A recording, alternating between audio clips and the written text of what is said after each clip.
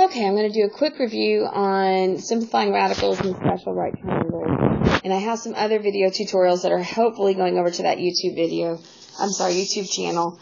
It has been a hectic night and our computer has not been the most cooperative, so I apologize for getting these things to you so late. You're probably already asleep. Uh, for number one, you've got, I don't know what kind of square root sign that is, but it's 224.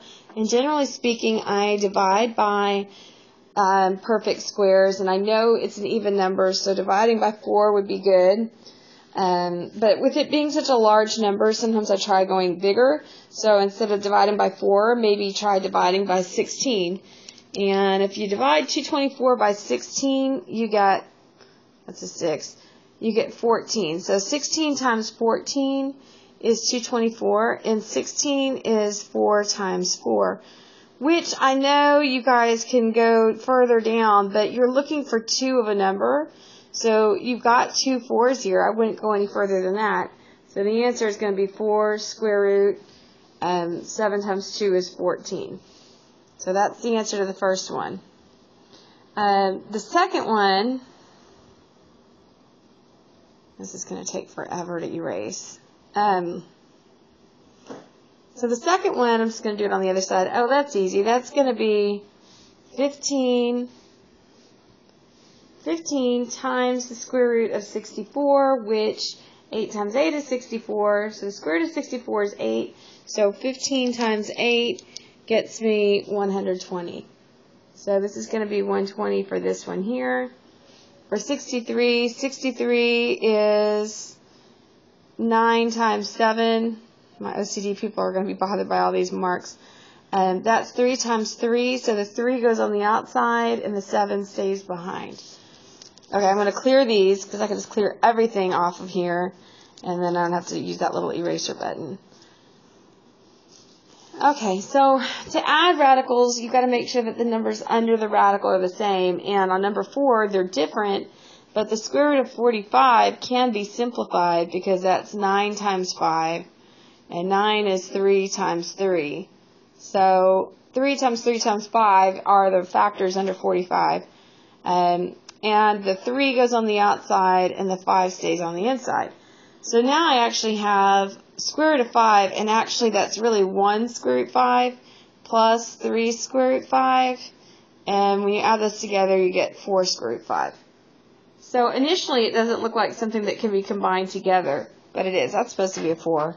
I don't know what exactly that looks like. Um, this, this one is a trick. You can't combine those because the numbers under the radicals aren't the same. And then number 6 is pretty straightforward. 4 plus 5 is 9, so this is going to be 9 square root 3.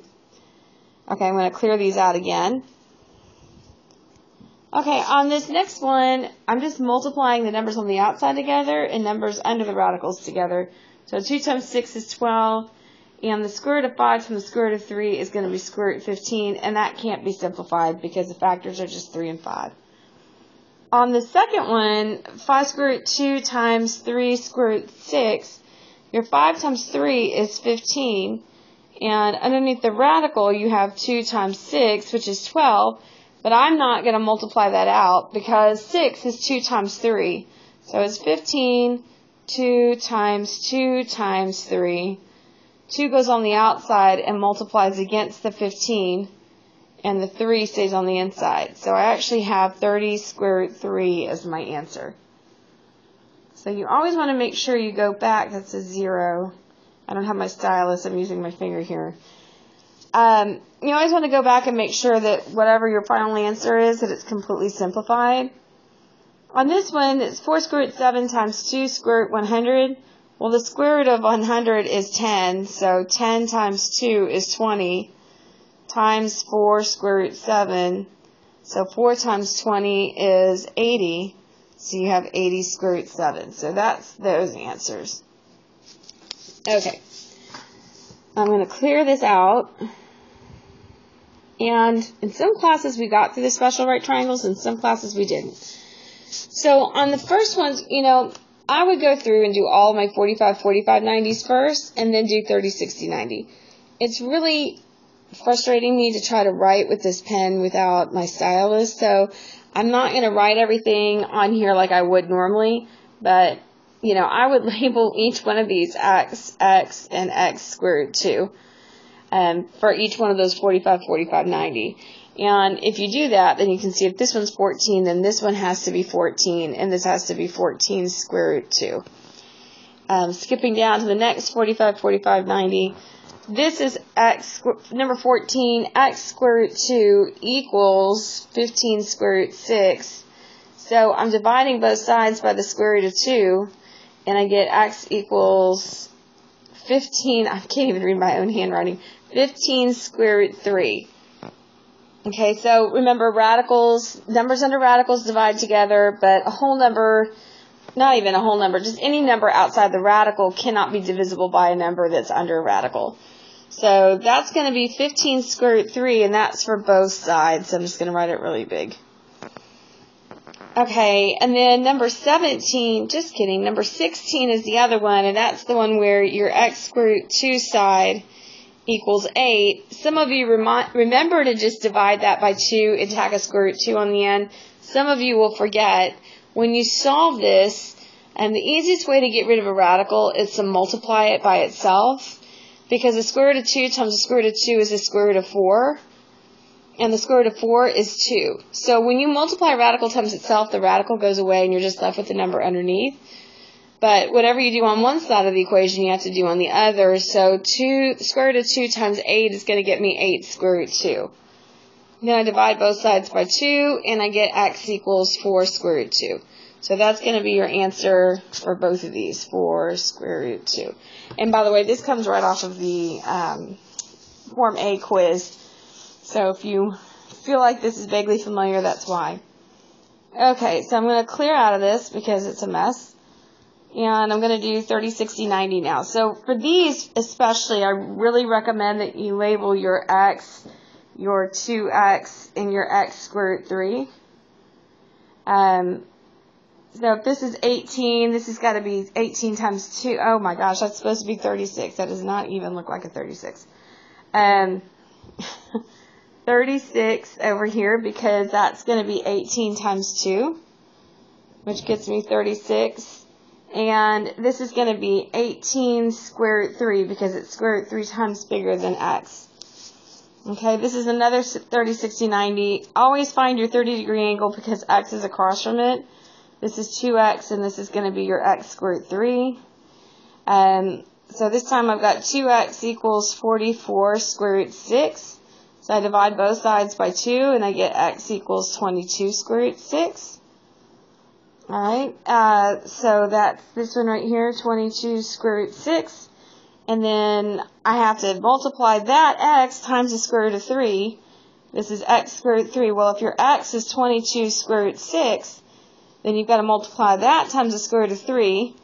That gets you square root of 18 here, which is 9 times 2, which ends up being 3 times 3 times 2. Your 3 goes on the outside. I'm going to bring it back over here. So this is 22 times 3, the 3 that's come out, and then you've got this 2 left behind. So you get 66 square root 2. I think that's this one. So this is 66 square root 2. Oh my goodness, this is so messy. Okay, uh, number 13. This is my x. This is going to be my 2x. This is my x square root 3. So if 11 square root 3 is x, then I've got to do 11 square root 3 times the square root of 3, which remember radical times itself, the radical goes away, which is 11 times 3, which is just 33.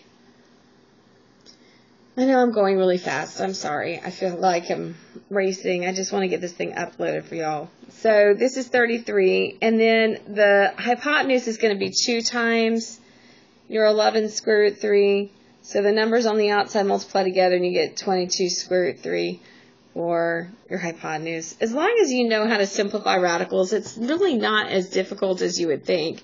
You get used to it.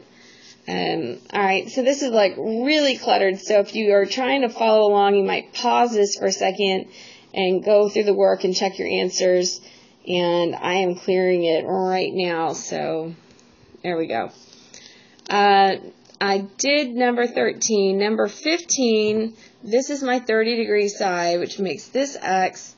This one's going to be 2x, and this is x squared root 3. So, like the 45, 45, 90, x squared 3 equals 36. On this one, some of you will remember to divide by 3 and stick a square root 3 on the end, but some of you during the test are going to forget. And when you do that, just get rid of the square root of 3 on this side by multiplying it out. The square root of 3 times the square root of 3 is the square root of 9, and the square root of 9 is 3. So you get 3x equals 36, but you've got to distribute that square root of 3 over to this side too. So it's 36 square root 3. I don't know how you guys can even read this. Where is my stylus? Anyway, then you divide by 3 and you get x equals 12 square root 3. So that is what x is. Okay, we we found what x is. That's this one. And this is going to be 2 times it. The hypotenuse is 2 times 12 square root 3 or 24 square root 3. Okay, so now let's see here. We're down to number 17. So the x is this one, and 2x is just going to be multiplying it times 2. So the whole thing is 3 plus 6 square root 3. So I multiply that and I get 6 plus 12 square root 3. So that's going to be my 2x. So this is 6 plus 12 square root 3 here. Oh my goodness, this is so messy. And then um, across from the 60 degree angle, remember this is your x. That's how I know it's x this is your x squared 3 down here. So I have to multiply this whole expression, 3 plus 6 squared 3, times the square root of 3, and you have to distribute that out. So you get 3 times the square root of 3 plus 6 square root 9, because the square root of 3 times the square root of 3 is square root of 9, which the square root of 9 is 3. So 6 times 3 ends up being 18. So when it's simplified, you get 3 square root 3 plus 18. And that goes um, right here. That's the answer. Okay, one last question, and this one is, you know, the really yucky one that everybody skipped. I'm going to clear this again. Okay, so here we go. And I have a calculator in front of me this time. So we're going to start with Pythagorean theorem because these two, if you've got two sides and you're looking for a third side, you can use Pythagorean theorem. But when you square a radical, when you square a number that has a number in front of it and a radical, you square both terms. So 6 squared is 36, and the square root of 2 squared is just going to be 2. Square root of, I mean, 5 squared is 25, and the square root of 3 squared is just 3. So I've got 72 plus 75 over here, which ends up being 147, which doesn't seem like it could simplify, but it actually does. If you divide it by 3, it's 3 times 49. That's going to be 7 times 7. Bring your 3 down. 7 goes on the outside. And the 3 stays behind. So that's the hypotenuse. And if I draw this triangle out here, um, the hypotenuse of that first triangle, this one right here, becomes the leg on this triangle, and this is my 30 degree side. So this is my x. And you're looking for the one that's across from the 60 degree angle. This is the one you're looking for right here, which is x square root 3. So you're going to take that 7 square root 3 and multiply it times the square root of 3, which is 7 times 3, which is 21. So this side right here is actually 21. And 7 square root 3 times 2, this is your 2x side. You're taking this number here and multiplying it times 2. That gets me 14 square root 3. Okay, and that becomes the leg to my 45, 45, 90, which I'm not going to write 45, 45. I'm just going to mark them as congruent. And so that means this is 14 square root 3.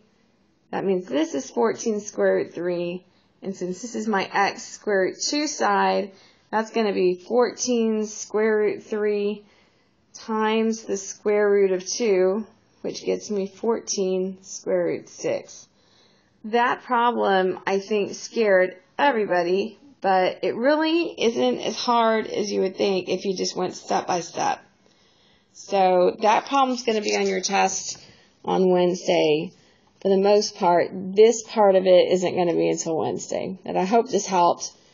I'm looking at all this writing everywhere and I hope you can decipher it. And maybe you can stop and look and, and, alright, so I'm rambling. Alright, thanks so much.